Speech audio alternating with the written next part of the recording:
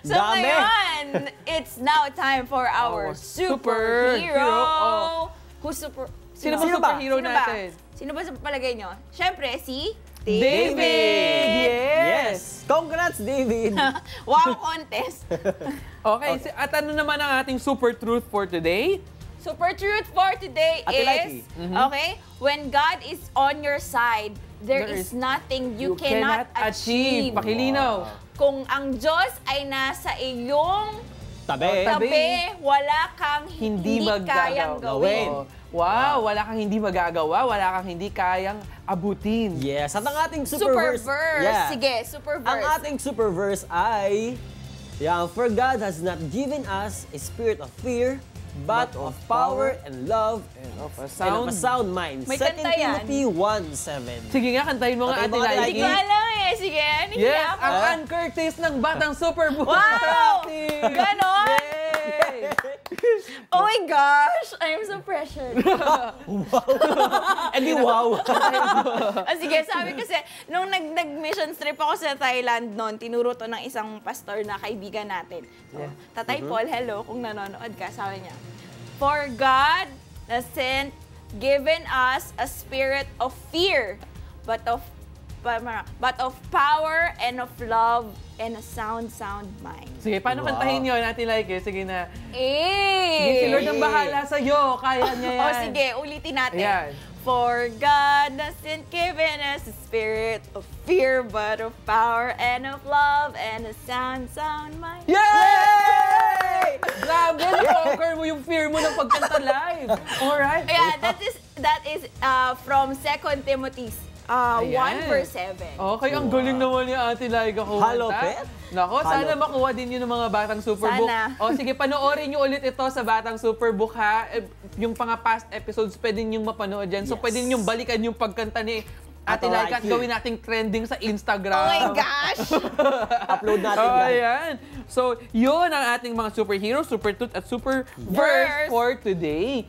So Eh, sa grabe. ating super mission, yon tuloy-tuloy lang yung pagpunta nyo sa aming Facebook Mhm. page and then hanapin nyo kung ano yung contest na nilagay nun. Kasi si Super Deb, hello Super Deb, if you're Ay, watching. pagaling ka ngayon, Miss Debbie, kasi meron siya sa akin. Oh, sakit. pagaling Let's pray for her, Ate Super Debbie. Debbie. We, we declare healing for you. Ganun din kay Kuya Miguel at sa lahat ng may mga sakit. Yes. Si Kuya Ken, nilalagnat. Ayan. Mm. Iyan natin pag-pray natin sila. Ayan. So, yan. Uh, just stay tuned sa ating Facebook account para makita natin kung ano yung pa-contest Mm. ni, ni ating Super Deb. Tapos, yun, sali kayo. Tapos, uh, use the hashtag SB, And Contest. SB Interactive. Interactive. Ayan. Ayan. Meron pa bang mga chat dyan? May mga sinasabi Ano pa po ba ba yung sila? sinabi Sabi sa'yo? ni Radel dito, bawat Okay. isa ay meron tayong sikreto Oh. na talento. Oo. My secret talent is keep holding on my faith despite the challenges in my facing today. I may Mm-hmm. not be perfect, but through my faith and loyalty to God, it's like I'm always on the perfect side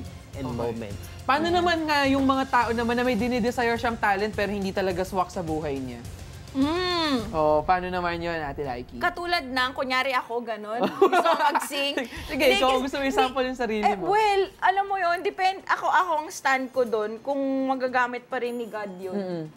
Kasi di ba may mga, kunyari, ayoko magbanggit ng mga pangalan, pero may mga tao talaga na hindi naman sila sobrang kagalingan. Pero yung iba, they practice. And Wow. nag improve naman sila. Oo, kasi may mga talents, may mga skills. Yung skills na tututunan yon, yung talent merong God-given talaga. Innate na sa'yo yan, binigay sa'yo yan ni Lord. Ang kailangan mo gamitin yan. Ngayon, kung wala ka nito at dinidesire mo, pag-pray mo. Pero kasi iba-iba ang design sa atin ng Yes. Panginoon. We are unique. Ika nga, iba-iba ang pagkakadesenyo kung paano tayo gagamitin ng Panginoon. Ngayon, kung meron kang dinidesire, pero meron ka palang talent na hindi mo pa alam, ipag-pray mo yan, brother. Ipag-pray mo yan, sister, para malaman mo kung paano mo yan gagamitin at paano yan mailalabas sa'yo. Malay mo, pagdating ng panahon, maggamit mo yan. You know what, Ate Laiki? Meron ako nakausap nitong Tuesday lang. Isa din siyang batang superbook from Tagig. Sabi niya, alam mo, Kuya Adel, dati ano, pinipilit ko, gusto kong matuto mag-drums. Gusto ko mag, ilang, isang taon daw siyang nag-aaral, pero hindi daw talaga niya makuha. Until one day, may lumapit sa kanyang pastor, alam mo kung ano ang gift mo? You have Ano a gift daw? to preach. Sa mga Wow! youth magsalita. Sinabi talaga? Mag-share ng Wow. gospel. And you know what? Ngayon, nagba-Bible school na itong batang ito. Mm. At ngayon ay nagtuturo na rin siya sa mga kabataan. At yun, dun siya ginagamit ni Lord. Na-discover niya kung saan siya mas magagamit ni Lord. So, tinalikuran niya yon yung dream niya dun muna sa sa Drums. pagda-drums na yon kasi iba yung pagkakatawag sa kanya ni Lord. Oo, sige, share ko rin. Kasi ako rin, meron akong sa, um, faith goal na matuto ng Mandarin, Okay. Chinese. Wow. So, nung time na yun, parang iniisip ko mahirap kasi nga yung character. Pero ngayon, nabigyan ako ng opportunity na makakita ng isang course wherein yung Chinese characters magagamit mo to evangelize other Chinese. Oo. So, ngayon, parang sabi ko, wow, ang ang galing kasi parang inis na-realize ko na si God, sinurround ako ng mga friends. Marami akong Chinese friends na tinutulungan ako. O sige, one by one tayo, ganyan. Tapos meron akong app na dinownload. Alam mo yun, parang it's not a talent. It's something that, a- a skill that I want to acquire na pwedeng pag-aralan. Hindi naman kasi, hindi naman ako hindi naman ako pinalaki sa Chinese family. So hindi naman ako kinausap ng Chinese. So ngayon I'm I'm learning it kasi Oo. pinag-pray ko siya, matagal ko siyang desire and then Oo. God si, si God talaga, He makes everything beautiful in its time. Oh, so, hintayin mo yes, lang wow. din minsan. How about you, Kuya Miguel? Sa akin naman, no, actually talaga, uh, mahihayin ako sa, sa lahat ng tao. Kumbaga, Talaga? hindi ako humarap sa mga Wow. tao. hindi ako ganun ka-confident sa sarili ko na kaya kong Oo. tumarap sa kanila. Pero, nakatuloy naman na ito, nilagyan ako ni Lord dito.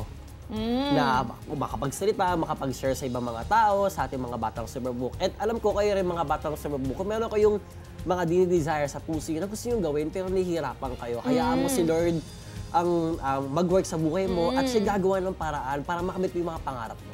Wow, mara. Nako, I think okay na tayo. Maraming maraming salamat mga batang Superbook sa inyong pakikinig ngayon sa amin tungkol dito sa ating mga napag-usapan sa episode recap.